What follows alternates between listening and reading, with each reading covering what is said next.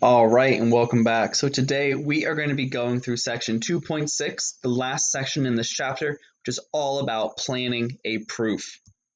So by the end of this video, we should be able to state and apply the theorems about angles that are supplementary to or complementary to different congruent angles. And we're going to be able to plan and write proofs. Now, you may have heard that proofs are scary and proofs are tough, and I promise you, they're not that bad all proofs are it's just a logical step by step way of expressing your thinking. That's all it is. And we're going to work on these throughout the year, and I can promise you it's going to get better and better as we go. But please just take a deep breath.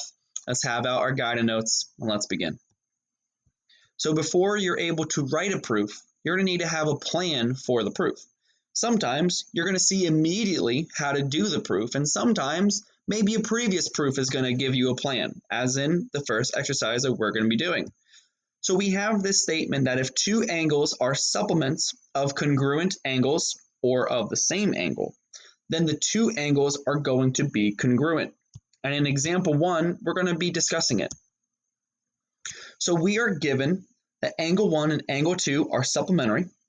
We're given angle 3 and angle 4 are supplementary as well we're given angle 2 is congruent to angle 4. And what we're trying to prove is that angle 1 is congruent to angle 3.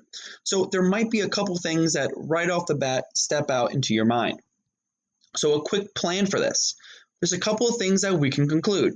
We can conclude that the measure of angle 1 plus the measure of angle 2 is equal to 180 because angle 1 and angle 2 are supplementary and likewise 3 and 4 are as well.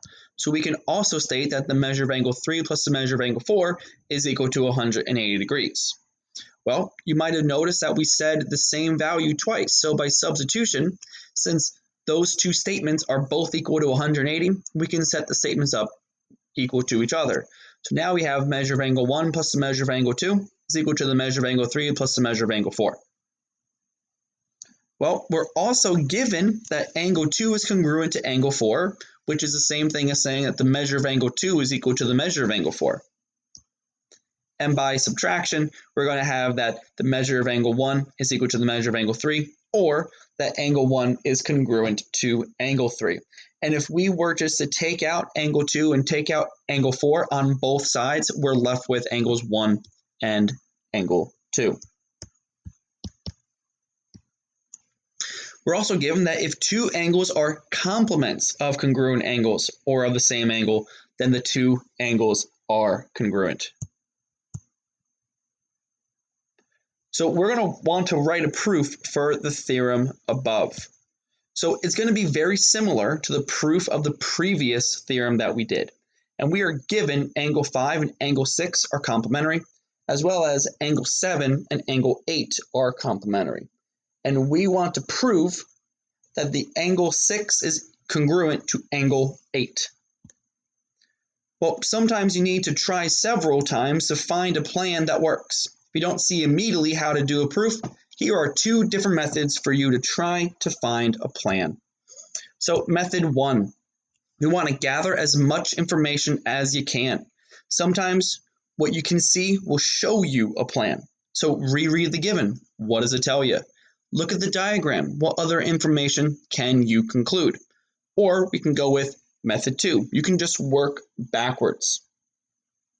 You can go to the conclusion, the part that you would like to prove, and think, hmm, this conclusion would be true if what? And if blank would be true if blank, and so on until you have a plan for the proof. Typically, I like to work with method two by working backwards. I find that, especially in the beginning, it's going to be easier for us to see how to work backwards than it is to work forward. But eventually, as the year goes on, we're going to get really solid and really strong with these two methods overall. So, whichever method works best for you, that's going to be great. But again, typically in the very beginning, I find that method two, working backwards, is a little bit easier for students to work with.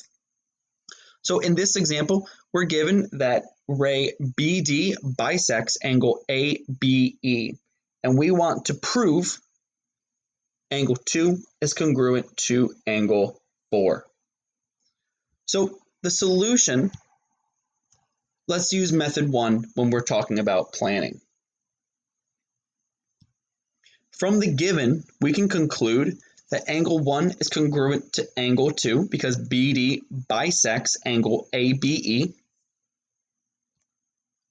We also can see that angle 1 and angle 4 are vertical angles. So therefore, angle 1 is going to be congruent to angle 4. And now, since we know that angle 1 is congruent to angle 2 and angle 1 is congruent to angle 4, we can conclude that angle 2 is congruent to angle 4. And if we were to eventually start writing out this proof, this would be by substitution.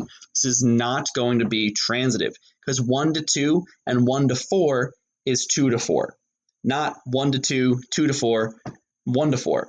The transitive property is going to be very specific. So this would be a great example on how to work with the substitution property versus the transitive property.